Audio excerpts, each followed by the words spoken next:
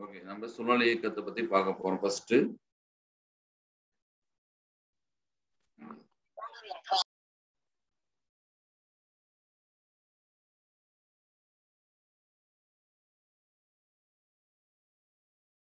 நிலைமை திருப்புத்திறன்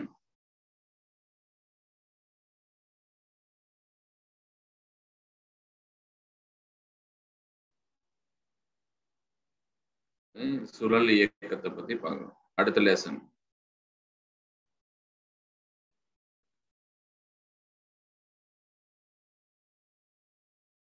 ஓகே இதுக்கு முன்னாடி ஃபர்ஸ்ட் ஸ்டார்டிங்ல நம்ம என்ன பார்க்கலாம் அப்படின்னு சொன்னா நிறை மையத்தை பத்தி பார்க்கலாம்.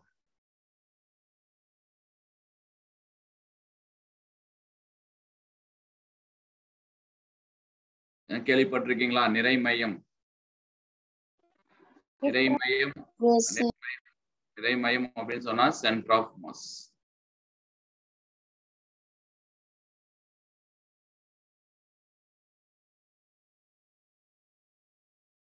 ஒரு மாஸ் வந்து ஒரு ஆப்ஜெக்ட் இருக்கு அப்படின்னு சொன்னா இந்த இந்த சென்டர் ஆஃப் மாஸ் இப்ப கேஸ் ஒரு ஆப்ஜெக்ட் இப்படி இருக்கு.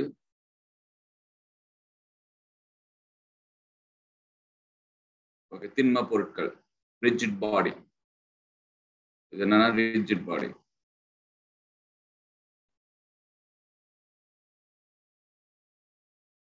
ஓகே. இதுல எப்படி இருக்கா சார் அப்படின்னு சொன்னா நிறைய பார்ட்டிகல்ஸ் இருக்கும். இதுல வந்து வந்து நிறைய பார்ட்டிகல்ஸ் இருக்கும். புரியும் புரிஞ்சிருக்கும் நிறைய பார்ட்டிகல்ஸ் இருக்கும். எல்லா பார்ட்டிகளுடைய மாசும் ஒரு பர்டிகுலர் பாயிண்ட்ல வந்து எப்படி இருக்கும் அப்படின்னு சொன்னா ஒரு பர்டிகுலர் பாயிண்ட்ல வந்து நிறை மையம் அந்த மையத்துல வந்து கரெக்டா இருக்கும். இந்த நிறை மையத்தை நம்ம கண்டுபிடிச்சிட்டோம் அப்படின்னு சொன்னா it is very easy to இப்ப இந்த நிறைமையத்தம் இருக்குன்னா இந்த நிறைமையத்துல இருந்து ஒரு ஒரே ஒரு சின்ன இப்ப இன்கேஸ் இந்த ஒரு பொருள் இருக்கு அப்படின்னு சொன்னா இப்ப தௌசண்ட் நியூட்டன் கொடுக்கணும் அப்படின்னு சொன்னா அது கொடுத்தாதான் எடுக்க முடியும் அப்படின்னு சொன்னா அதனுடைய நிறைமையத்தை கண்டுபிடிச்சு அந்த நிறை மையத்துக்கு எங்க இருக்கோ அதே இடத்துல ஒரு விசையை கொடுத்தா ஈஸியான ஒரு just point five newton new ஒரு விசை கொடுத்தா போதும் அந்த பொருளை தூக்கிடலாம். அப்போ நிறைமயம் அப்படின்னு சொன்னா எல்லா பார்ட்டிகல்ஸினுடைய நிறையும் ஒரு மையத்தின் அடிப்படையில் இருக்கிறது தான் வந்து என்ன சொல்லலாம் நிறை மையம் அப்படின்னு சொல்லுவாங்க. அதனுடைய ஃபார்முலாஸ் பார்க்கல பார்த்தலாம்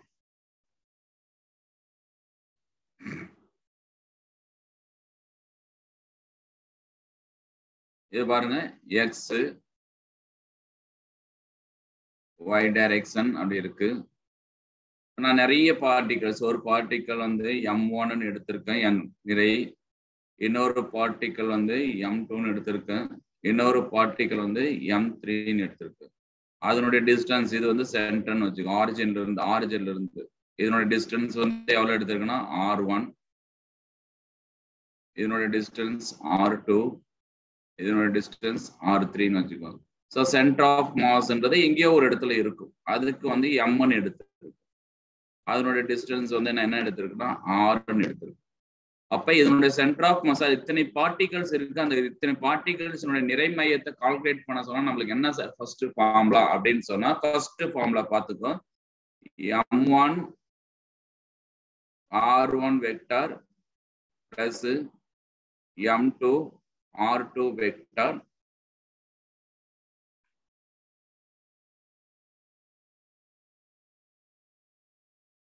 plus M three R three vector அப்படியே போயிட்டே இருக்கும். Is equal to M into R vector அப்படின்னு நம்ம சொல்லுவோம். டேரக்டா நான் வேகமா முடிச்சிடுறேன். ஓகே தேர்ஃபோர் நம்மளுக்கு இது வந்து இதுதான் சென்டர் ஆஃப் மாஸ் அதாவது வந்து நிறை மையத்தினுடைய நிறை மையத்தினுடைய டிஸ்டன்ஸ் தேர்ஃபோர் நிறை மையத்தினுடைய டிஸ்டன்ஸ் என்ன பண்ணலாம் அப்படின்னு சொன்னா R CM vector is equal to M one R one vector plus M two R two vector plus அப்படியே போயிட்டே இருக்கும். Plus MN RN vector divided by M எம்ன்றது பார்த்தீங்கன்னா மொத்த நிறை. M is equal to M one plus M two plus M three plus அப்படி போயிட்டு இருக்கும். இப்போ இன்கேஸ் சார் இப்படி இருக்கு சார் இது என்ன பண்ணலாம் அப்படின்னு சொன்னால் therefore RCM vector is equal to M one R one M two R two vector plus அப்படியே போயிட்டே இருந்துச்சுன்னா plus MN RN vector divided by capital M அப்படின்னு சொன்னா உங்களுக்கு தெரிய வேண்டியது M one plus M two plus M three இதே மாதிரி மேக்ஸ் வடிவத்தில் நம்ம எழுதலாம்னா அது தேவையில்ல இதனால தெரிஞ்சுக்கோ. Therefore centre of mass எந்த டிஸ்டன்ஸ்ல இருக்கும் அப்படின்னு சொன்னா summation of MI RI vector divided by summation of MI என்ன டவுட் இருக்குங்களா? இந்த ஃபார்முலாவில்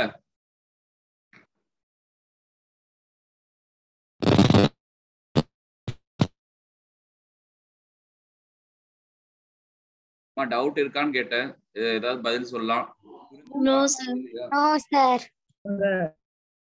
எல்லாம் கவனிச்சிட்டு இருக்கீங்க தானே?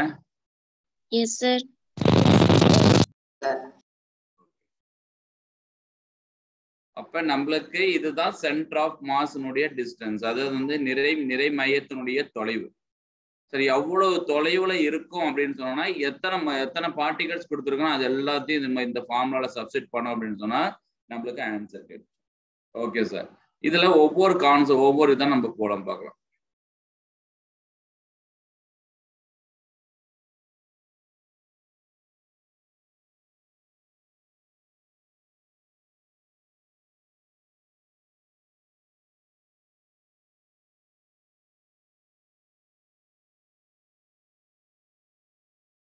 First one, one more question.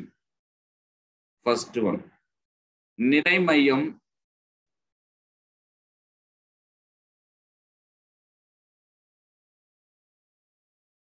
மைய புள்ளியில் இருந்தால்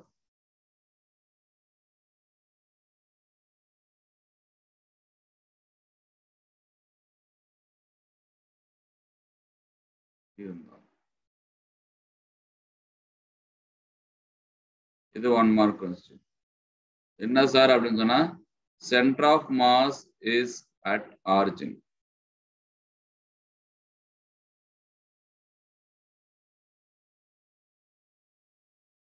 அப்ப centre of mass is at origin therefore நம்மளுக்கு என்ன சொல்லலாம்? ஆர்சிஎம் டிஸ்டன்ஸ் எவ்வளவு ஆயிடும்? ஜீரோ ஆயிடும். கரெக்ட் தானே? அப்ப M one R one vector plus M two R two vector plus அப்படியே போயிட்டே இருந்துச்சுன்னா plus MN RN vector is equal to zero எழுதிக்கலாமாப்பா? Sir.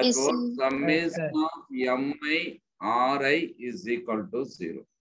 Sir இரண்டு பொருட்கள் மட்டும் இருக்கு சார் இரண்டு பார்ட்டிகிள்ஸ் மட்டும் இருக்கு சார் இரண்டு துகள்கள் மட்டும் இருக்கு சார் என்ன சார் பண்ணலாம் அப்படின்னு சொன்னா அதே கான்செப்ட் தான். M one R one is equal to M R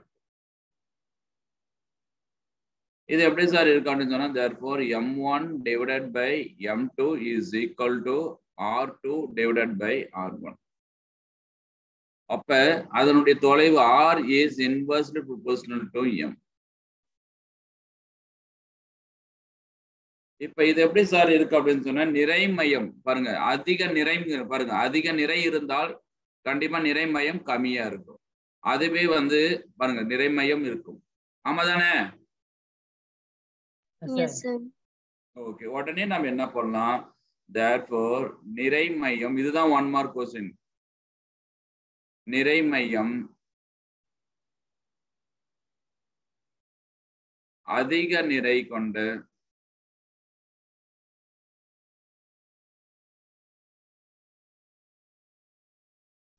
எழுதுக அதிக நிறை கொண்ட பொருளின் அருகில் தான் இருக்கும்.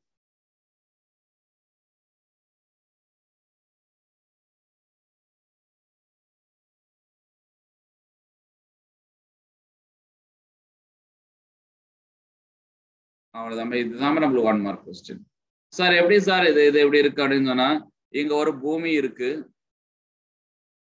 இப்ப நீங்க வந்து இங்க நின்றுட்டு இருக்கீங்க. அப்போ உன்னுடைய நிறைமயம் எங்க சார் இருக்கும் அப்படின்னு சொன்னா அதிகம் நிறை எது இருக்கு? எர்த்து அப்ப உன்னுடைய நிறை மையம் எங்க இருக்கும் அப்படின்னு சொன்னா எர்த்துல எங்கேயோ ஒரு இடத்துல இருக்கும். அப்ப நிறை எங்க சார் இருக்கும் சொன்னா அதிக நிறை எங்க இருக்கோ அந்த அதிக நிறைக்கு அருகில் தான் இருக்கும். இப்ப பாத்தீங்கன்னா ஒரு சின்ன ஒரு பொருள் இருக்கு இங்க ஒரு பெரிய பொருள் இருக்கு. அப்ப இந்த சின்ன பொருளுடைய நிறை மையம் எங்க சார் இருக்குன்னா இந்த அதிக நிறை கொண்ட பொருளுக்கு பக்கத்துல இருக்கும். அப்ப இதுதான் ஒன் மார்க் கொஸ்டின்ஸ் ஓகே புரிஞ்சுதுங்களா. அதே மாதிரி இந்த ப்ராப்ளம்ஸ் நிறைய இடத்துல கேட்பாங்க. இந்த இந்த ஃபார்முலா எப்ப சார் யூஸ் பண்ணலாம்? நிறைமைய புள்ளி வந்து எங்க இருக்கணும் அப்படின்னு சொன்னா ஆரிஜின்லயே இருக்கும் பொழுது.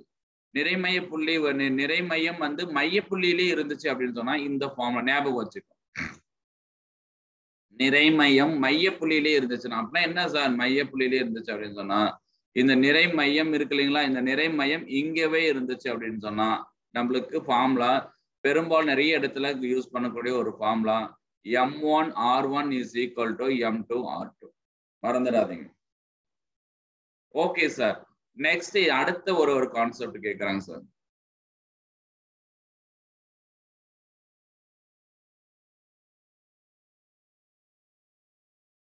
ஓகே அடுத்த ஒரு கான்செப்ட் கேட்கறேன் சார் இப்ப எல்லா பார்ட்டிகளுடைய மாஸ் இப்ப ரெண்டு பார்ட்டிகள் எடுத்திருக்கேன். அப்ப M one is equal to M டூவா இருந்துச்சுன்னா என்ன சார் பண்ணலாம்? நம்மளுக்கு ஏற்கனவே ஒரு ஃபார்முலா தெரியும். ஃபர்ஸ்ட் இது முடிச்சு இது வேண்டாம் இது முடிச்சிடலாம். உனக்கு ஃபார்முலா தெரியும். RCM is equal to M one R one vector plus நல்லா பாருங்க ஞாபகம் வச்சுக்கோ. M two R two vector அப்படியே போயிட்டே இருந்துச்சுன்னா plus mn rn vector divided by m1 பிளஸ் m2 plus அப்படியே போயிட்டே இருந்துச்சுன்னா plus mn உங்களுக்கு இதெல்லாம் தெரியும்.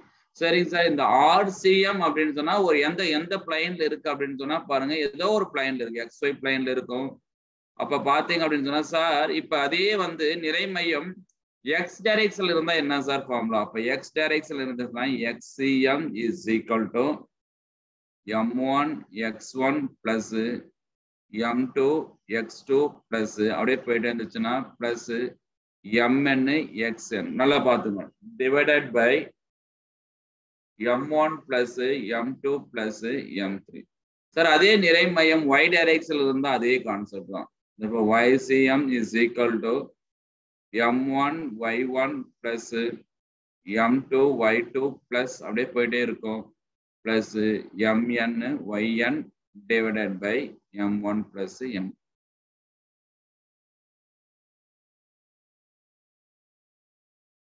M அவ்வளோதான் நமக்கு ஆன்சர் அதே மாதிரி தான் சிமிலர்லி இசட் சிஎம்முக்கு அதே மாதிரி தான் சார் ஃபர்ஸ்ட் இசட்டுக்கும் என்ன பண்ணலாம் அப்படின்னு சொன்னால் M one Z one plus M two Z two plus அப்படியே போயிடுச்சுன்னா plus MN ZN divided by divided by m1 plus m2 plus அப்படியே போயிடுச்சுன்னா plus. அப்ப இது எல்லாமே உனக்கு தெரிஞ்சிச்சு அப்ப ஆர்சிஎம் அப்படின்னு சொன்னா ஏதாவது ஒரு பிளைன்ல எக்ஸ் ஒய் பிளைன்ல போகக்கூடியது. இப்ப எக்ஸ் எக்ஸிஎம் ஒய்சிஎம் அது நம்மளுக்கு தெரிஞ்சிருச்சு. ஓகே இப்ப ஒரு சின்ன ஒரு question M one is equal to M டூவா இருந்துச்சுன்னா என்ன சார் நடக்கும்?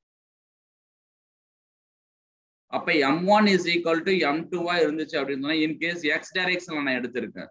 Therefore எக்ஸ் டைரக்ஷன் எடுக்க போறேன். Therefore xcm is equal to நம்மளுக்கு என்ன பண்ணலாம்? ரெண்டுமே சமமா இருக்குன்னு வச்சு ரெண்டு பொருள் மட்டும் எடுத்திருக்கேன்.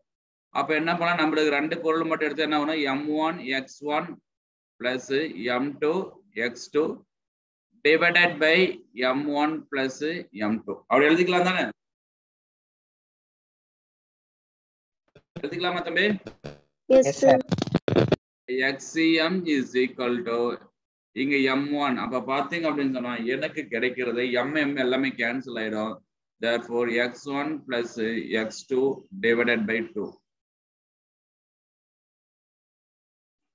அப்ப நிறைமயம் எங்க சார் இருக்கும் அப்படின்னு சொன்னா ரெண்டு பொருட்களும் கூடுதல் மதிப்புல அதாவது வந்து ஆவரேஜ்ல வந்து சராசரியில கிடைக்கும். சராசரி திசை இப்ப இன் கேஸ் ஒரு ஒரு பொருளினுடைய ஒரு டி- ஒரு பொருள் வந்து டிஸ்டன்ஸ் வந்து சிக்ஸ் மீட்டர்ல இருக்குன்னு வச்சுக்கோங்க.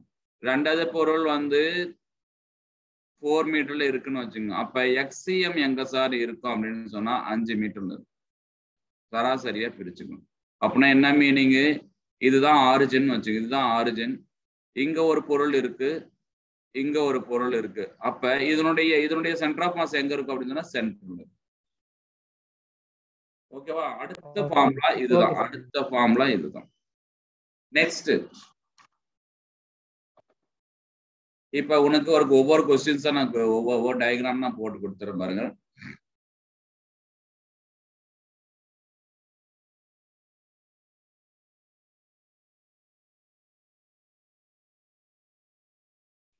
தமிழா கவனிச்சிட்டு இருக்கீங்களா. எல்லாத்துக்கும் புரிய- புரியுதா புரியுது. சார் ஓகே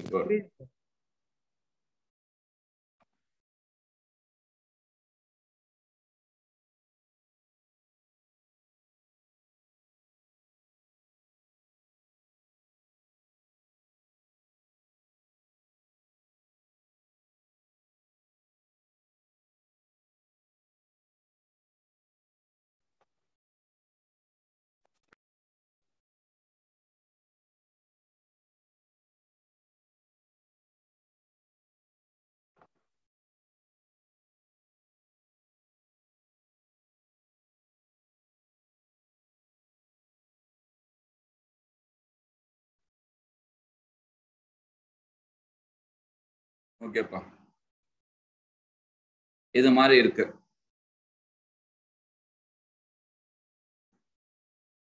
இப்ப நல்லா கவனிச்சுக்க மாஸ் வந்து எம் ஒன் இங்க இருக்கு. எம் டூ இங்க இருக்கு. சென்டர் ஆஃப் மாஸ் எங்க சார் இருக்கும் இது வந்து ஆரிஜின் வச்சுக்கோ. அப்ப இதனுடைய டிஸ்டன்ஸ் வந்து எக்ஸ் ஒன் இது ஆரிஜின்ல இருந்து இதனுடைய டிஸ்டன்ஸ் வந்து எக்ஸ் டூ அப்ப சென்டர் ஆஃப் மாஸ் எங்க இருக்கு? இதுக்கு அடுத்தது. இப்ப இந்த பாயிண்ட் எம் ஒன் வந்து ஆரிஜின்ல இருக்கு. எம் டூ இங்க இருக்கு. அப்ப எம் டூனுடைய ஆரிஜின்ல இருந்து எவ்வளவு டிஸ்டன்ஸ் அப்படின்னு சொன்னா என்ன டிஸ்டன்ஸ் அப்படின்னு சொன்னா எக்ஸ் டூ அதே மாஸ் அப்படியே கொஞ்சம் நகர்ந்து இங்க இருக்கு. மாஸ் எம் ஒன் இருக்கு. இது வந்து ஆரிஜின் எம் டூ இங்க இருக்கு. இதனோட டிஸ்டன்ஸ் வந்து எக்ஸ் ஒன் இதனோட டிஸ்டன்ஸ் வந்து எக்ஸ் டூ சார் இது மாதிரி கொடுத்துருக்காங்க சார் அப்ப இதனுடைய சென்டர் ஆஃப் மாஸ் எங்க சார் இருக்கும்? ரெண்டு origin M one M two பாருங்க அதே தான் நம்ம படிச்சது. அப்படியே டக்குன்னு எழுதிக்கலாம். தேர் ஃபோர் இதனுடைய சென்டர் ஆஃப் மாஸ் எங்க சார் இருக்குமா? அப்படின்னு பார்த்தோம்னா M one X one plus M two X two divided by M one plus M two அதுவே இங்க ஆரிஜின்ல ஆயிருச்சு இல்லையா? அப்ப ஜீரோ ஆயிடும். அப்ப நம்மளுக்கு எப்படி இருக்கும் அப்படின்னு சொன்னா XCM is equal to M one into zero plus M two into X two divided by M one plus M two ஞாபகம் வச்சுக்கோ. அதுவே வந்து இப்படி இருக்கு சார். அப்ப சென்டர் ஆஃப் அப்ப இதனுடைய சென்டர் ஆஃப் மாஸ் எங்க சார் இருக்கும்? அப்படின்னு சொன்னா சென்டர் ஆஃப் மாஸ் இங்க இருக்கும். அதே மாதிரி இதனுடைய சென்டர் ஆஃப் மாஸ் எங்க சார் இருக்கும் அப்படின்னு சொன்னா சென்டர் ஆஃப் மாஸ் ஏதோ ஒரு இடத்துல. சார் சென்ட்ரலே இருக்கணுமா? சென்ட்ரலே இருக்கணும்னு அவசியம் இல்லை. எங்கேயாவது ஒரு இடத்துல இருக்கலாம். இப்ப இதனுடைய சென்டர் ஆஃப் மாஸ் எங்க சார் இருக்கும் அப்படின்னு சொன்னா இங்க இருக்கும். சென்டர் ஆஃப் மாஸ் அப்ப இதனுடைய ஃபார்முலா என்ன சார் அப்படின்னு சொன்னா M one X one is equal to M two X two doubt இருக்கா பாருங்க. ரெண்டு பொருளும் இருக்கு. ஒரு பொருள் வந்து மையத்திலே இருக்கும் பொழுது இந்த ஃபார்முலா மையத்துல இருக்கும் பொழுது அதனுடைய தொலைவு வந்து ஜீரோ ஆயிடும்.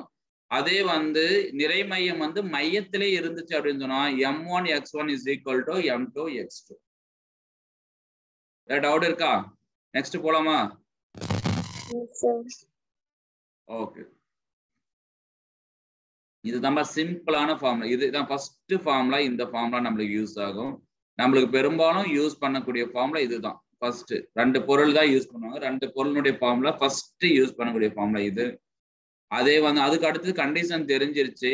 அந்த பொருள் வந்து எங்க இருக்கு அப்படின்னு சொன்னா மையத்துல இருந்துச்சுன்னா இந்த ஃபார்முலா இல்ல சார் அதே வந்து நிறை மையமே மையத்துல இருக்கு அப்படின்னு சொன்னா இந்த ஃபார்முலா ஞாபகம் வச்சுக்க மறந்துடாதீங்க. ஓகே நெக்ஸ்ட் இந்த நிறைமயம் அப்படியே டிராவல் ஆச்சுன்னா மூவ் ஆச்சுன்னா என்ன ஆகும்? அப்படியே பார்க்கலாம்.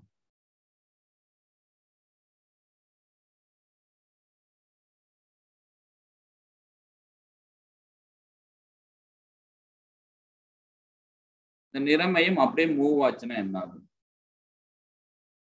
இப்ப நிறை மையத்தின் இயக்கம்.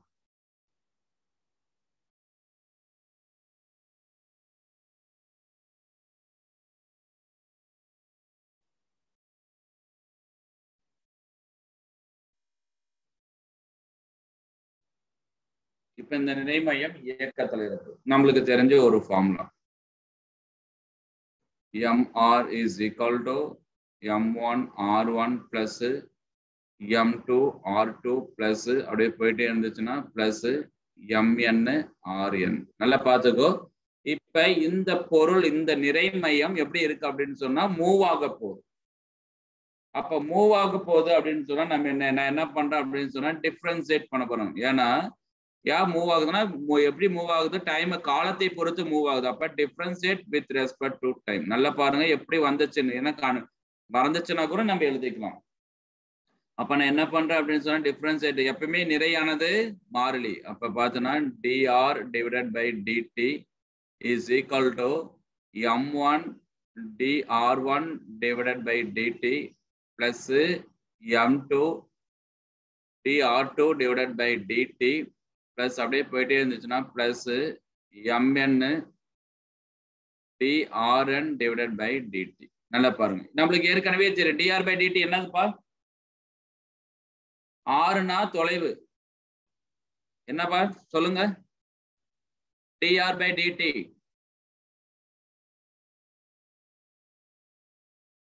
தம்பி திசை வேகம்னா என்னப்பா? Velocity sir. ஆ, அதனுடைய ஃபார்முலா என்ன? Displacement by time இடப்பெயர்ச்சி பை காலம் ஆறுன்றதும் டிஸ்பிளேஸ்மெண்ட் அதான் சொல்லியிருக்கு இல்லையா இடப்பெயர்ச்சி தொலைவுன்னு சொல்லியிருக்கேன். அப்ப. இடப்பெயர்ச்சி பை காலத்தை நம்ம என்னன்னு பண்ணலாம். திசை வேகம் இல்லைன்னா இது அது தொலைவு பை காலம் என்னன்னு சொல்லலாம். வேகம்னு சொல்லலாம். அப்ப பார்த்தோன்னா M into P is equal to M one V one plus M two V two plus அப்படியே போயிட்டே இருந்துச்சுன்னா கண்டிப்பா எம்என் விஎன் அப்ப ஒரு பொருள் அதாவது வந்து இந்த நிறைமயமே அப்படியே ஒரு ஒரு ஒரு பொருள் அப்படியே இப்படி இருக்கு. இந்த பொருள் இந்த நிறைமயம் இந்த பொருள் அப்படியே என்ன ஆகுது அப்படின்னு சொன்னா மூவ் ஆச்சுன்னா அந்த நிறைமயம் எப்படி இருக்கும் அப்படின்றத ஸ்டடி பண்ண போறோம். அப்ப அந்த நிறைமயத்துல எவ்வளவு கிடைக்கும் அப்படின்னா எம்பின்ற ஒரு இது என்னது இப்ப எம்பின்னு என்னது உந்தமா? உந்தமானது கிடைக்கும். அப்ப அதனுடைய வேகம் எவ்வளவு சார் இருக்கும் அப்படின்னு சொன்னா உடனே நம்ம போட்டுக்கலாம். Therefore vcm is equal to நல்லா பாருங்க formula M one V one plus M two V two plus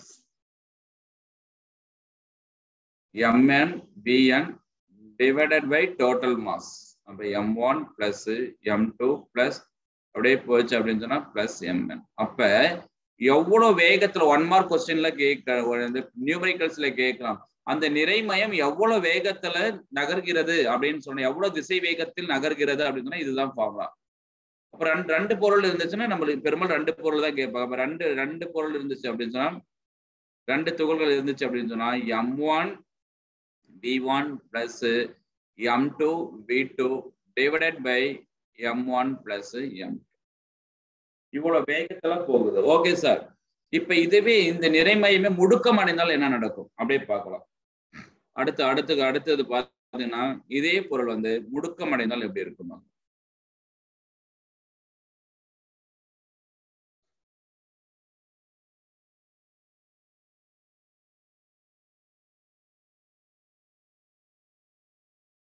அப்ப முடுக்கம். நெக்ஸ்ட் வந்து பாத்தீங்கன்னா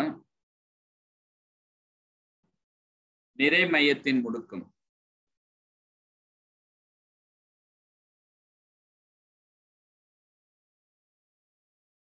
அப்ப திசை வேகத்தை பார்த்துட்டோம் அதனுடைய தொலைவையும் பார்த்துட்டோம் அதுக்கு அடுத்தது நம்ம வந்து முடுக்கத்தை பார்க்க போறோம்.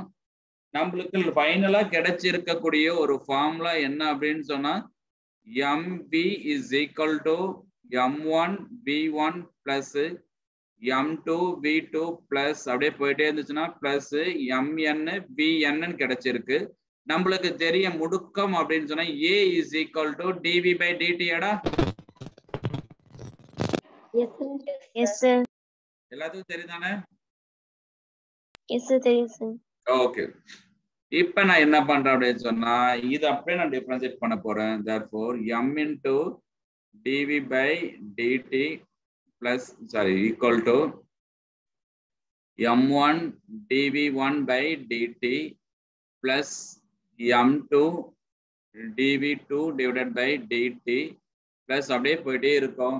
Plus MN DVN divided by DT உங்களுக்கு தெரியும் therefore is is equal to M one A one plus M two A two அப்படியே போயிட்டே இருக்கும் பிளஸ் எம்என் ஏஎன் ஓகேவாப்பா புரிஞ்சிச்சா? இப்ப இதனுடைய முடுக்கத்தை மட்டும் நம்ம பார்த்தோம் therefore is is equal to M one A one plus M two A ரெண்டு பார்ட்டிகள் மட்டும் எடுத்திருக்கேன். M one plus M two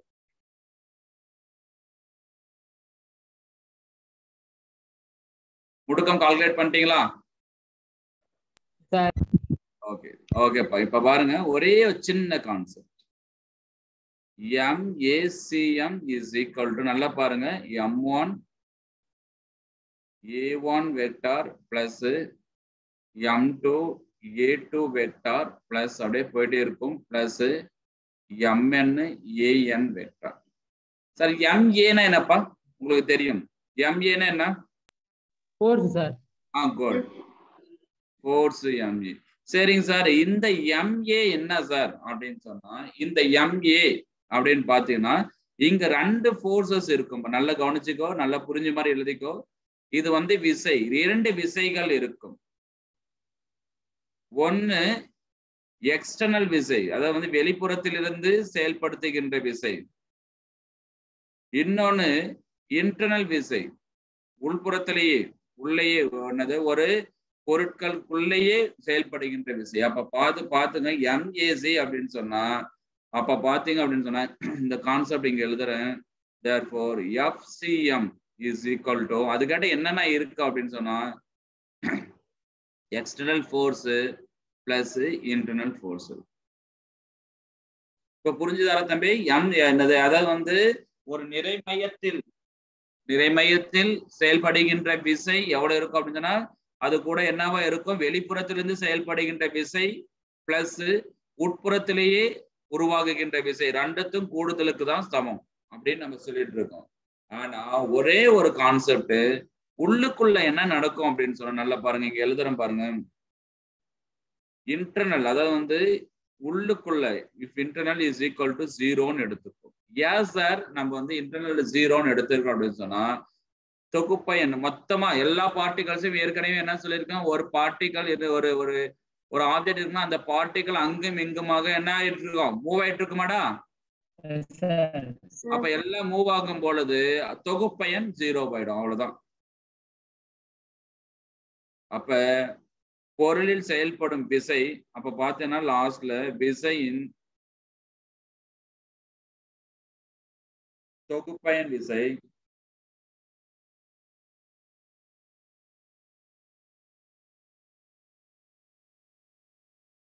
அது வந்து விசை உள்ள துகளில்.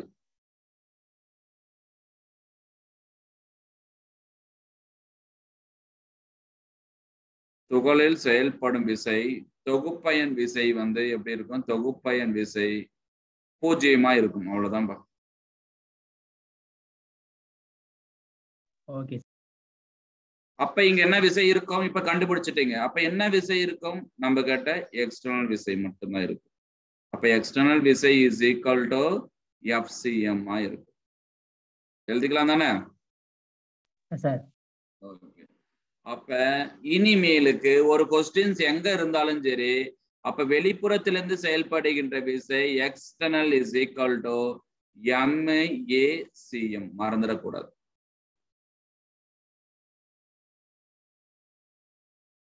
ஓகேவாப்பா.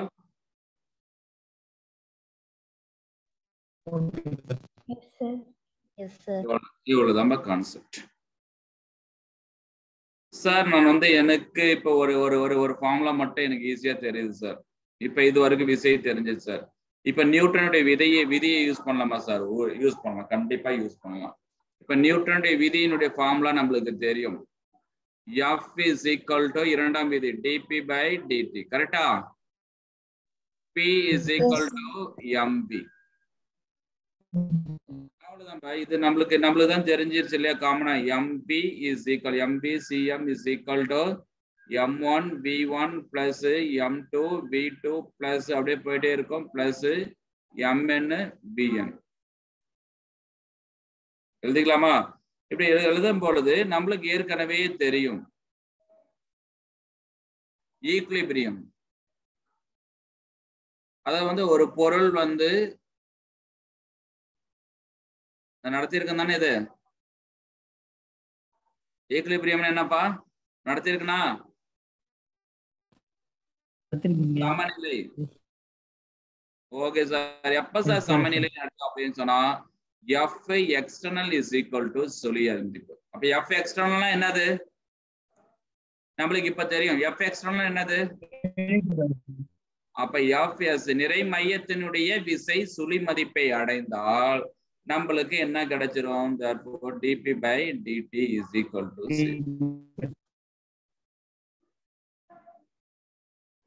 okay இதுல என்ன டவுட் இருக்கா பாருங்க. இதுல இதுதான் ஃபர்ஸ்ட் நம்மளுக்கு தெரிய வேண்டியது.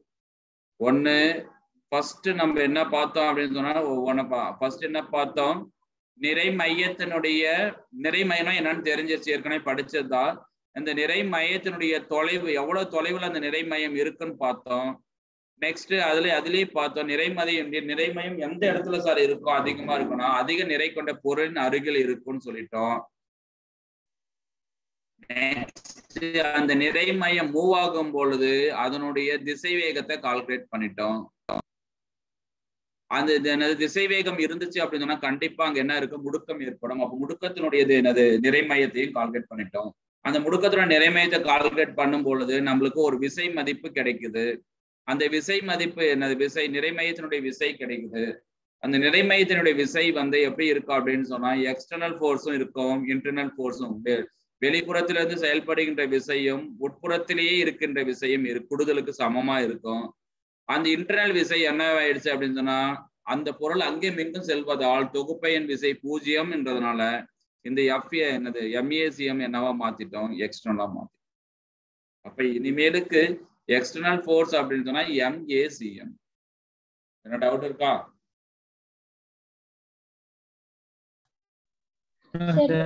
விசைனா இங்கிலீஷ்ல சொல்லுங்க சார் நம்ம தொகுப்பயன் விசைனா இங்கிலீஷ்ல என்ன சார் இது ரிசல்டன்ட் ஃபோர்ஸ்மா இதுவா கேட்டீங்க? அப்ப Yes, sir. ரிசல்டன்ட் ஃபோர்ஸ் தொகுப்பையின் விஷயம்னா resultant force okay external internal force ஜீரோவா இருக்கும். ஏன் அப்படின்னு சொன்னா என்னது ஒவ்வொரு பார்ட்டிகளுக்குள்ள இருக்கக்கூடிய ரிசல்டன்ட் சின்ஸ் அது அப்படியே சொல்ற ரிசல்டன்ட் ஃபோர்ஸ் ஏன் சார் ரிசல்ட் என்னது என்ன என்ன மீனிங்னா since all the force all the particles are moving in random direction அங்கும் இங்குமாக மூவ் ஆகுறதுனால மொத்த விசை வந்து சுழி மதிப்பு அடையுது அவ்வளவுதான். போலாமா? நெக்ஸ்ட் போலாமா? இதுக்கு நியூமரிக்கல் மொத்தமா மொத்தமா பார்த்துட்டு பார்க்கலாம். ஏன்னா இது வந்து ஒவ்வொன்றும் ஒவ்வொரு மாதிரி இருக்கும். நியூமரிக்கல்ஸ் எல்லா ஃபார்ம்லாவையும் சப்ஸ்டிட் பண்ற மாதிரி வரும். அதனால இது முடிச்சிட்டு நாளைக்கு நம்ம நியூமரிக்கல்ஸ் பார்க்கலாம். ஓகே நெக்ஸ்ட் இப்பதான் நம்ம வரோம். நிலைம திருப்புத்திறன்.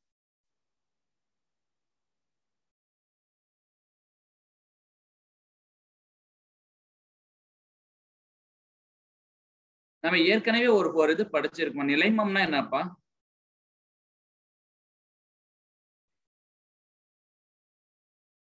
நிலைமம் அப்படின்னு சொன்னா இன்னர்சியா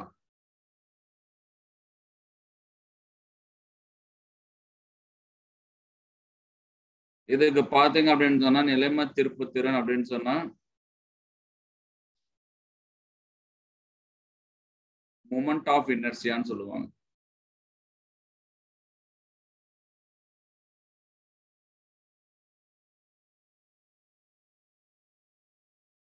ஓகே இங்க பாரு நல்லா கவனிச்சுக்குங்க. இந்த கான்செப்ட் உங்களுக்கு எல்லாம் தெரிஞ்சிருக்கும். நாம என்ன பண்ணிருக்கோம் அப்படின்னு சொன்னா இப்ப பாருங்க லீனியர் வேர்ல்டு அதான் நான் சொல்லியிருக்கேன். லீனியர் லீனியர் வேர்ல்டு ஒன்னு இருக்கு. ரொட்டேஷனல் வேர்ல்டு அதாவது வந்து நே இது நேரடியாக செல்கின்ற விஷயம். அப்ப பார்த்தேன் அப்படின்னு சொன்னா P is equal to MP அப்படின்னு நம்ம சொல்லியிருக்கோம் கரெக்டா இங்க அப்படியே கொஞ்சம் கொஞ்சமா மாறும். நல்லா பாத்துங்க இதெல்லாம் கொஞ்சம் கொஞ்சமா மாறும் இது விடுங்க கன்ஃபியூஸ் ஆக வேண்டாம். இது கொஞ்சம் கொஞ்சமா மாறும். அவ்வளவுதான். நிலைப்பு திறன். நிலைப்பு திருப்பு திறன். இனர்சியா அப்படின்னா என்னன்னு தெரியுமா? யாரா சொல்ல முடியுமா? ஒரு பொருள் இருக்கு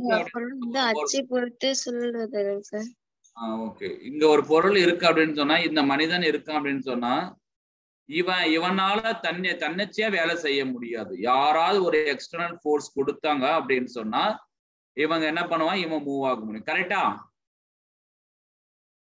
எஸ் சார் எஸ் சார் அதுதான் இன்னர்சியா அப்ப இன்னர்சியா அப்படின்னு சொன்னா நான் நான் ஒண்ணு சொல்றேன். இன்னர்சியா அப்படின்னு சொன்னா இன்எபிலிட்டி அவனால அவனால என்ன பண்ணணும்? தானாக ஒரு- ஒரு இடத்திலிருந்து இன்னொரு இடத்திற்கு இடம்பெயர முடியாது. அப்ப பார்த்தனா இன்னர்சியா இது எப்படின்னா ஞாபகம் வச்சுக்கோ inertia is directly proportional to mass ஏற்கனவே நம்ம பார்த்துருக்கோம். நிறை. நிலைமம். நிலைமம் இஸ் டைரக்ட்லி ப்ரொபோஷனல் டு நிறை. இது வந்து எங்க பார்த்தோம் அப்படின்னு சொன்னா நியூட்டனுடைய விதிகள்ல நம்ம பார்த்தோம். இங்க நிலைம திருப்புத்திறன் அப்படின்னு சொன்னா இந்த இடத்துல ரவுண்டிங்கா இருக்கு. சர்க்குலர் மோஷன் போயிட்டே இருக்கு. பிரச்சனை இல்லை. நிலைமை திருப்புத்திறன் கம்மியா இருக்கு. சார் இந்த நிலைமை திருப்புத்திறன் என்ன பண்ணும் அப்படின்னு சொன்னா இந்த மூவ் ஆயிட்டு இருக்கு பாத்தீங்களா? ரொட்டேஷனல் மோஷன் அதாவது வந்து ஒரு பொருள் வந்து சுழற்சியில போயிட்டு இருக்கு பாத்தீங்களா? அந்த சுழற்சியை தடுக்கும். அதுதான் நிலைமை திருப்புத்திறன். நிலைமை திருப்புத்திறன் அப்படின்னு சொன்னா அந்த சுழற்சியை தடுக்கும் வகையில் ஒரு திறன் எனக்கு கொடுக்கறது தான் என்ன அப்படின்னு சொன்னா நிலைமை திருப்புத்திறன். அது அழகா நான் எழுதுறேன் பாருங்க. நீங்க அப்படியே எழுதிக்கங்க. ஃபர்ஸ்ட் பாயிண்ட் சுழற்சி இயக்கத்தின்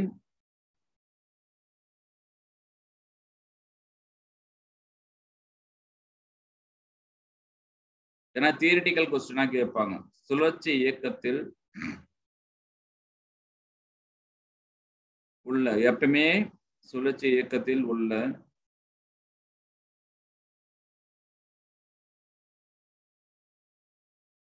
பொருளின் தடை.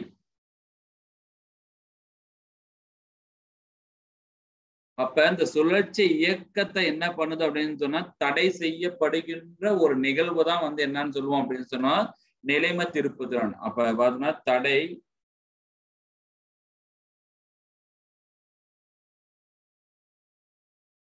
ஒன் மார்க் கொஸ்டின் தடை மாறுதலை அளவிடுதல்.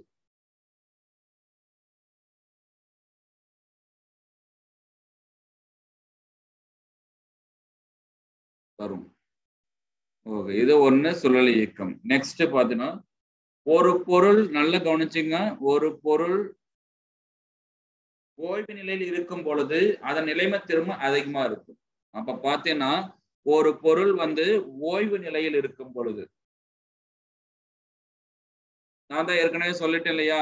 ஓய்வு நிலையில் இருந்துச்சுன்னா நிலைமம் அதிகமா இருக்கும். அதனால பாத்துங்க ஓய்வு நிலையில் ஒரு பொருள் ஓய்வு நிலையில் இருக்கும் பொழுது கண்டிப்பா என்ன இருக்கும் அப்படின்னு சொன்னா நிலைம திருப்புத்திறன் அதிகமா இருக்கும்.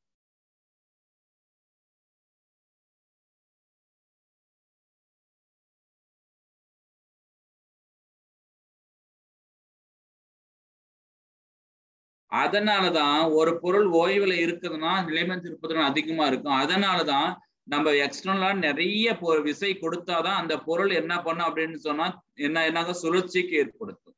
அப்ப ஒரு பொருள் ஓய்வு நிலையில் இருக்கும் பொழுது நிலைம திருப்புத்திறன் எப்படி இருக்கும் சொன்னா அதிகமா இருக்கும். அதனாலதான் அந்த பொருளை இயக்கத்துல வைக்கிறதுக்கு ரொம்ப சிரமப்படணும். அதே வந்து பாத்தீங்கன்னா ஒரு பொருள் சுழற்சியில ஸ்டார்ட் பண்ணிடுச்சுன்னு வச்சு ஒரு பொருள் வந்து ரொட்டேஷனல் மோஷன்ல நடந்து நடக்க ஆரம்பிச்சிச்சுன்னா அது பாட்டு நடந்துட்டே இருக்கும். நம்மள நம்மளால தடுக்க முடியாது. ஆனா அந்த பொருள்ல வந்து ரொட்டேஷனல் மோஷன் ஸ்டார்ட் பண்ண வைக்கிறது தான் நம்மளுக்கு கஷ்டம். ஏன்னா நிலைமை திருப்பு திறன் வந்து அதிக அதிகமா இருக்கும். அவ்வளவுதான் கான்செப்ட் அந்த பொருளை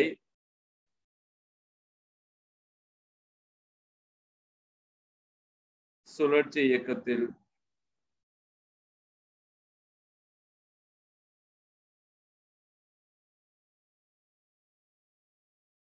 இதெல்லாம் எழுதி வச்சுக்குவா இம்பார்ட்டன்ட் சுழற்சி இயக்கத்தில் வைப்பது மிக கடினம். ஓகேப்பா இதுதான் நம்ம நிலைப்பு திருப்புதல் ஓகே இதனுடைய ஃபார்ம்ல என்ன சார் அப்படின்னு சொன்னா moment of inertia I is equal to M R square அவ்வளவுதான் சார் ஆறுனா என்ன சார் அப்படின்னு சொன்னா நம்மளுக்கு கன்ஃபியூஸ் ஆக வேண்டாம். ஒரு பொருள் இப்படி இருக்கு அப்படின்னு சொன்னா இந்த செங்குத்து திசை தான் பர்பண்டிகுலர் டிஸ்டன்ஸ் சொல்லுவாங்க. ஆறுன்றது பாத்தீங்கன்னா செங்குத்து நல்லா பாருங்க செங்குத்து திசையில் அளவெடுக்கின்ற தொலைவு பர்பண்டிகுலர் டிஸ்டன்ஸ் ஓகேவா நல்லா பாத்துங்க இது வந்து ஆறுன்றது வந்து என்ன அப்படின்னு சொன்னா எப்படி இருக்கும் அப்படின்னு சொன்னா பர்பண்டிகுலர் டிஸ்டன்ஸ் சொல்லுவாங்க. ஓகே எழுதிக்கலாமாடா? என்ன டவுட் இருக்கா? நோ சார் ஓகே ஓகே இது எம்னா என்ன அப்படின்னு சொன்னா நான் அதே சொல்லிடுறேன். எம் என்பது துகளின் நிறை. கொஸ்டின்ல கொஸ்டின்ல கொடுப்பாங்க. அப்ப எம் என்பது துகளின் நிறை. அதே வந்து ஆர் என்பது அச்சிலிருந்து ஒரு தொலைவு. அப்ப பாத்தீங்கன்னா மையத்திலிருந்து தொலைவு இல்லைன்னா சும்மா இப்படி இப்படி கூட கொஸ்டின்ஸ் கேட்பாங்க. அச்சிலிருந்து தொலைவு.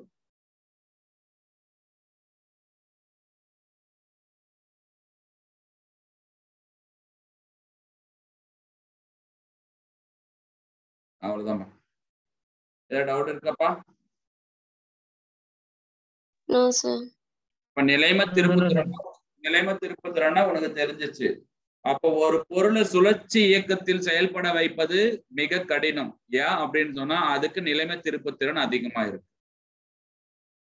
அப்ப நிலைமை திருப்புத்திறன் என்ன பண்ணுது அப்படின்னு சொன்னா சுழற்சி இயக்கத்தை உருவாக்குவதற்கு தடையாக இருக்கும். அவ்வளவுதான் அது கான்செப்ட் அப்ப அந்த நிலைமை திருப்பத்திறனுடைய ஃபார்ம்ல என்ன அப்படின்னு சொன்னா I is equal to M R square எப்பயுமே ஆறு எப்படி இருக்கும் அப்படின்னு சொன்னா பர்பண்டிகுலரா இருக்கும்.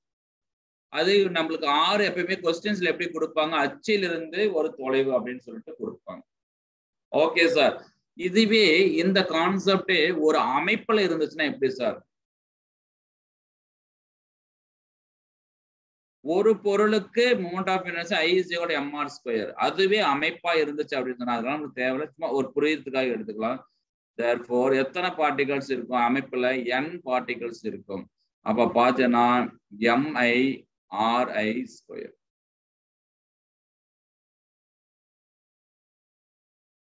சார் அதே வந்து இன்கேஸ் அது மாறுபடுகிறது சார் அப்ப என்ன சார் பண்ணலாம்? சீராக பரவியுள்ள திருப்பு. இப்ப இன்கேஸ் இப்படி ஒரு கொஸ்டின்ஸ் கேட்டிருக்காங்க சார் சீராக அப்படின்னு சொல்லிட்டு இருக்காங்க சீராக பரவியுள்ள நிறையின் திருப்புத்திறன் இப்படி இருக்கு சார். அப்ப என்ன சார் பண்ணலாம் அப்படின்னு சொன்னா நம்மளுக்கு formula dI is equal to dm into r square அப்ப I is equal to integration of r square into dm அவ்வளவுதான் கான்செப்ட்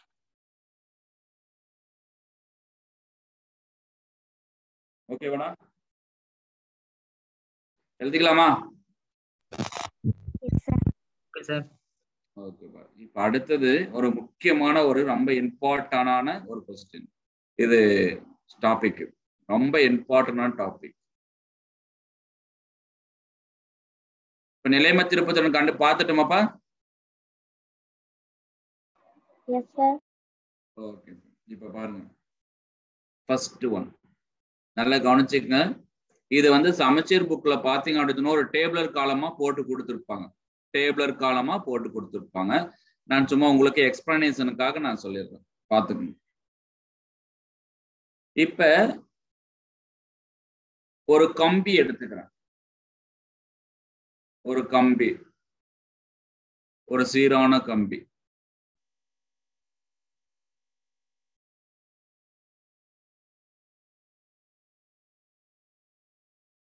இதுல வந்து என்ன சொல்லுவாங்கன்னா ராட் அப்படின்னு சொல்லுவாங்க. யூனிஃபார்ம்லி டிஸ்ட்ரிபியூட்டர் ராட் ஓகே ஒரு கம்பி எடுத்திருக்குன்னு வச்சுங்க இப்படி இப்படி இருக்கு.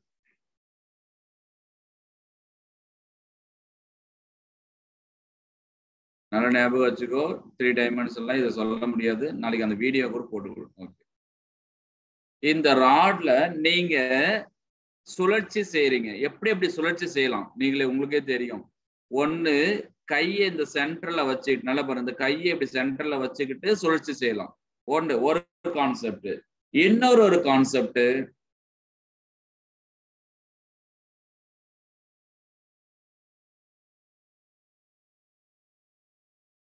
அதே ஒரு கான்செப்ட் நீங்க இங்க கைய பிடிச்சுக்கிட்டு என்ன பண்ணலாம் அப்படின்னு சொன்னா சுழற்சி செய்யலாம். ஆமா தானே பண்ணலாமாப்பா? ஓகே. அப்ப இது சுழற்சியின் அச்சு. நீ எங்க கைய பிடிச்சிருக்கீங்களோ அது சுழற்சியின் அச்சு. அப்ப இது வந்து பாத்தீங்கன்னா இதுதான் சுழற்சின்னு அப்ப இந்த சுழற்சி எப்படி சார் இருக்கு? அப்படின்னு சொன்னா நீளத்திற்கு செங்குத்தாக சுழலும் பொழுது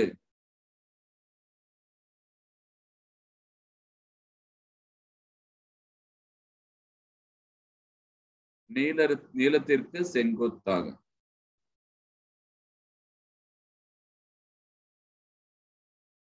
இது ஒரு கான்செப்ட் நெக்ஸ்ட் பாத்தீங்கன்னா செகண்ட் ஒன் அதே கான்செப்ட் தான் நீளத்து சாரி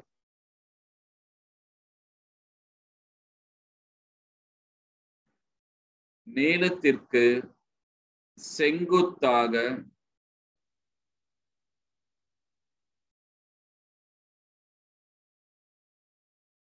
நீளத்திற்கு செங்குத்தாக தொடுகோட்டில்.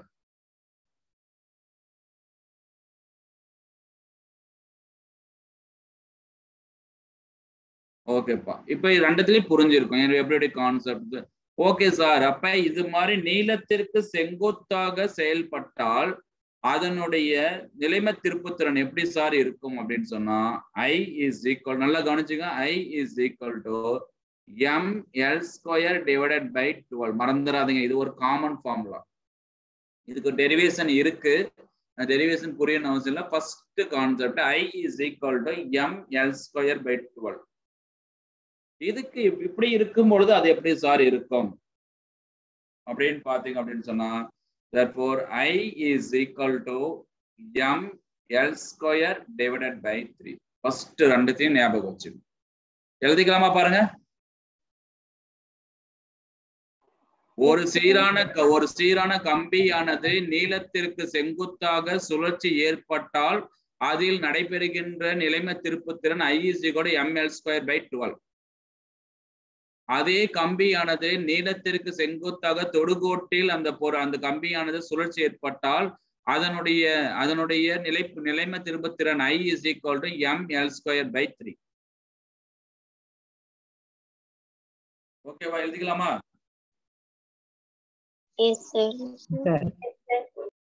இதனுடைய கம்பியினுடைய ஒப்படர்த்தி லாம்டா இஸ் ஈக்குவல் டு நம்ம எங்கேயோ படிச்ச மாதிரி இருக்க சொல்லுங்க பார்க்கலாம். எம் பை எல் எங்கே படிச்ச மாதிரி இருக்கு பாருங்க. காஸ் லாக் முன்னாடி படிச்சிருக்குமா? இங்கிலீஷ் இதுல? அங்க பாத்தீங்கன்னா இது ஒப்படர்த்தி லாம்டா இஸ் ஈக்குவல் ஒப்படர்த்தி அப்ப lambda is equal to sir இதனுடைய நிறை எவ்வளவு சார் மாறுபடும் அப்படின்னு சொன்னா dm is equal to lambda into d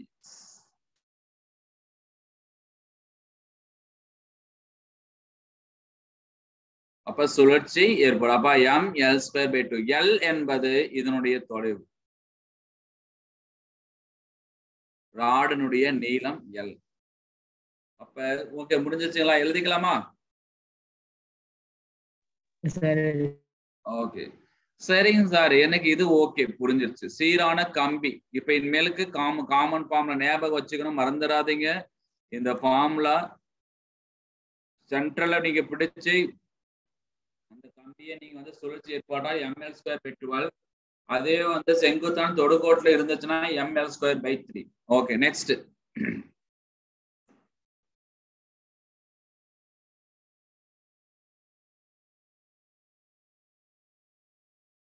சீரான வட்ட வளையம் ரிங்கு நீங்க கையில போடுறீங்களே அந்த ரிங்கு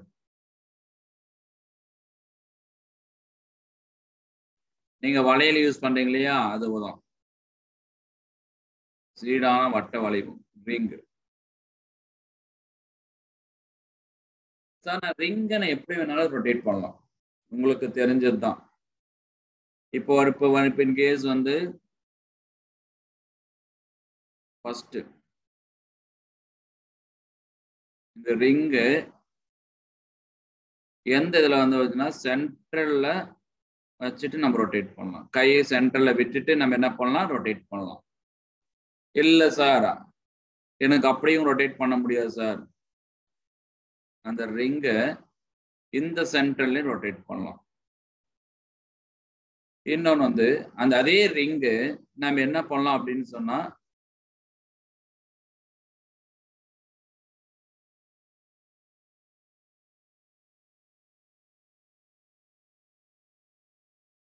அதே ரிங்கு இப்ப இது வச்சுட்டு என்ன பண்ணலாம்? தொடுகோட்டுல நான் ரொட்டேட் பண்ணலாம்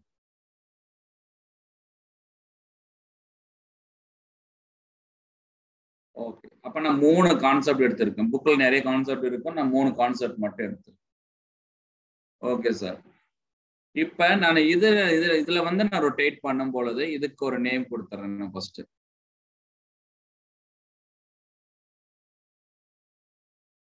பரப்பின் செங்குத்தச்சில் பரப்பின் செங்குத்தச்சு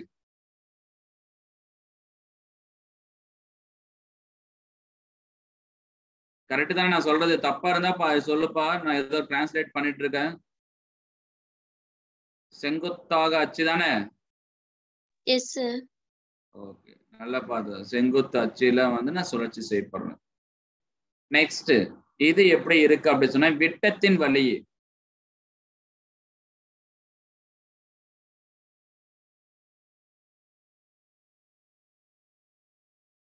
விட்டத்தின் வழி இது வந்து பரப்பு தொடுகோட்டின் வழி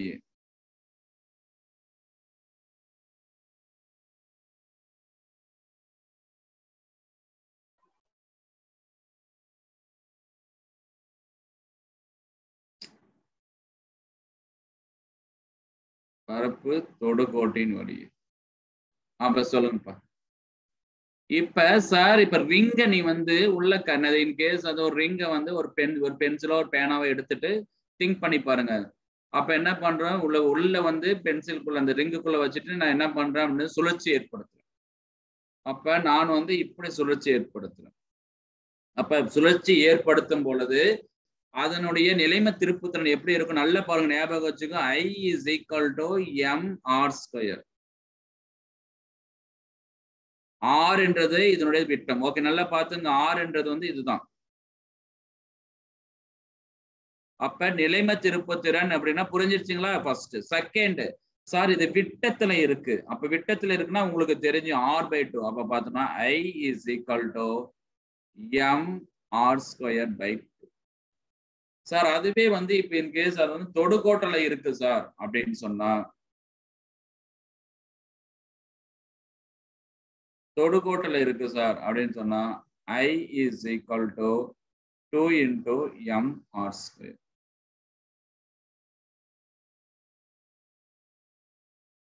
இப்ப இந்த தொடுகோடு எப்படி இருக்கு அப்படின்னு சொன்னா அந்த கான்செப்டே எழுதுறேன். எனக்கு இன்னும் ரொம்ப இது இது தேவையில்ல. இந்த பரப்பு எப்படி இருக்குன்னா செங்குத்து கரெக்ட் தானே பாருங்க?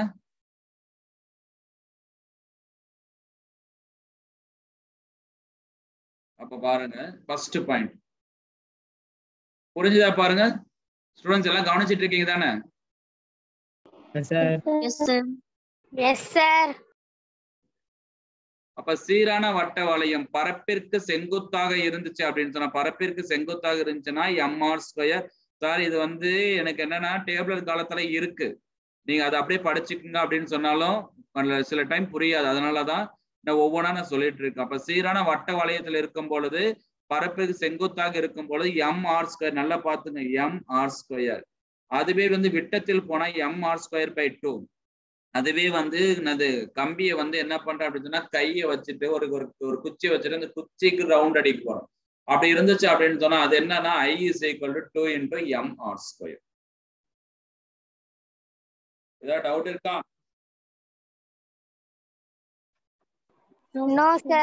ஓகே குட் சூப்பர் நெக்ஸ்ட் ஒரு சின்ன கான்செப்ட் முடிச்சுட்டு முடிச்சிடலாம் இன்னைக்கு.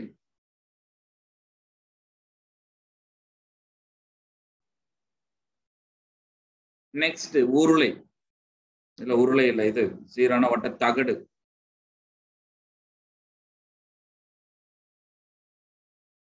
வட்ட தகடு. சீரான வட்ட தகடு. இது என்ன அப்படின்னு சொன்னா டிஸ்க் அப்படின்னு சொல்லுவாங்க. நல்லா பாத்துங்க அதே மாதிரி தான் அதே கான்செப்ட் தான் எங்கேயும் இது வந்து ரிங்கில் சென்டர்ல எப்படி இருக்கும்? கேப் இருக்கும். இந்த தகடுல கேப் இருக்காது அவ்வளவுதான். அப்ப பாத்தீங்கன்னா ரெண்டு கான்செப்டா இருக்கும்.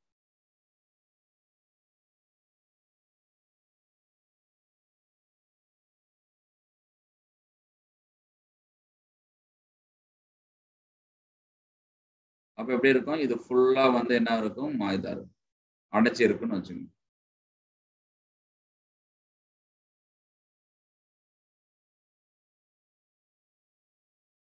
சார் ஃபர்ஸ்ட் ஒன் செங்குத்தாக இப்படி போகுது சார் செகண்ட் ஒன் விட்டத்தின் வழியாக போகுது. தேர்ட் ஒன் இப்படி இருக்கு. இதனுடைய மூமெண்ட் ஆஃப் இனர்ஜி அதாவது வந்து நிலைம திருப்புத்திறன் எவ்வளவு சார் ஃபர்ஸ்ட் ஒன் நிலைம திருப்புத்திறன்.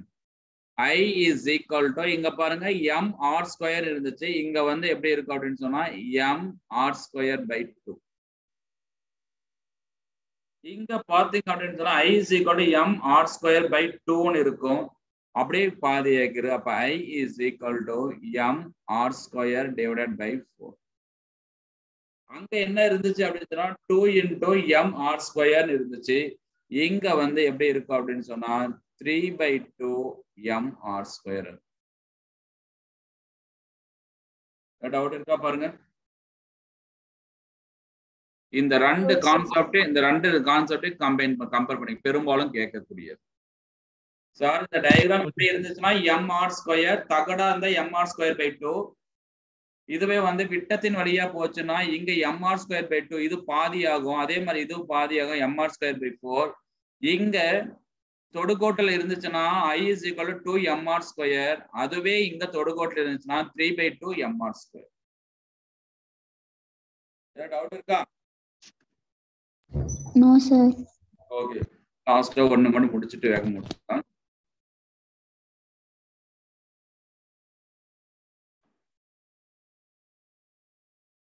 நெக்ஸ்ட் அடுத்தது.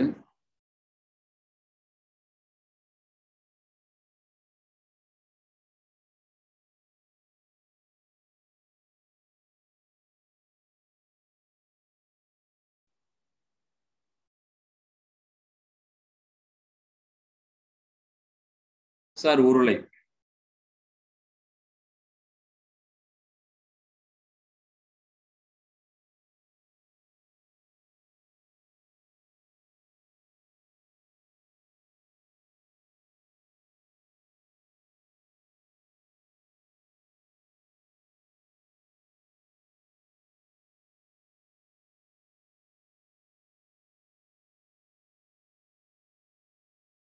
இந்த உருளை ஃபர்ஸ்ட் இப்படி உருளை வைக்கிறேன். செகண்ட் இப்படி உருளை வைக்கிறேன். தேர்டு ஒன் வந்து இதே ஷேப்பில் என்ன பண்ணியிருக்கு அப்படின்னு சொன்னால் ஒரு தொடுக்கோட்டில் உருளை வைக்கிறேன். இப்போ இப்படி நான் என்ன பண்ணிருக்கேன்? இப்படி உருளை வைக்கிறேன். அப்போ இப்படி உருளுது. இது இப்படி உருளுகிறது. இது என்ன பண்ணுறேன் அப்படின்னு சொன்னால் இந்த தொடுக்கோட்டில் உருளுது. சார் இப்படி இருக்கும் பொழுது எப்படி சார் இருக்கும்? அப்ப இதனுடைய இது என்ன ஆகுனா I is equal to M R square பாருங்க. ரிங்கினுடையது இதுக்கும் பாருங்க. கொஞ்சம் அதெல்லாம் கொஞ்சம் கன்ஃபியூஸ் இது பார்த்துங்க இதெல்லாம் பார்த்துங்க. எம் ஆர் ஸ்கொயர் சார் இப்படி இருக்கும் பொழுது நான் ஏற்கனவே சொல்லியிருக்கேன் கம்பியினுடைய இது வந்து சென்ட்ரல்ல போச்சுன்னா எம்எல் ஸ்கொயர் பை டுவெலா பாருங்க. கரெக்ட் தானே? ராடு இருந்துச்சுன்னா எம்எல் ஸ்கொயர் பை டுவெல் எல்லாம் கவனிச்சிட்டு இருக்கீங்க தானே? Is equal to m r square by 2 plus m l square by 12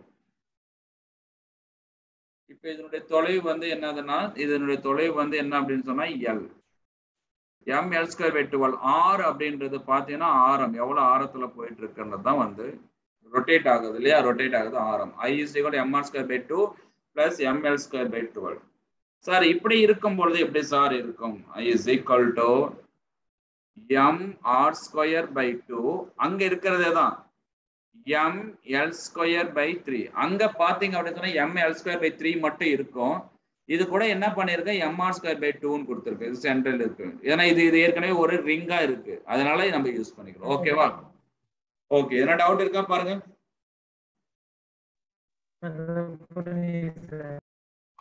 students எதனா டவுட் இருக்கா?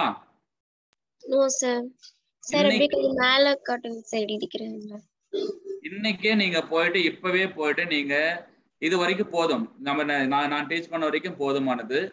எதுமா மேல இதுவா எதுமா கேட்டீங்க? நம்ம எப்பவுமே பாத்துங்க இதெல்லாம் இப்படி இருக்கு. இது இது நம்மளுக்கு பெரும்பாலும் நியூமரிக்கல்ஸ்ல கேட்கக்கூடிய கொஸ்டின்ஸ சொல்லிட்டேன். ரிங்கு ராடு என்னது ரோலரு அதே மாதிரி டிஸ்க் இவ்வளவுதான் கேக்குறாங்க. புக்ல பாருங்க ஒரு டேபிளர் காலத்துல நிறைய இருக்கும். அது நிறைய இருக்கிறத வச்சு பாத்துக்கணும் ஓகேவா நம்ம நாளைக்கு நம்ம நியூமரிக்கல்ஸ் பார்க்கலாம். Thank you Thank Thank you, sir. Sir thank you sir Rajesh sir Thank you, sir. Thank you.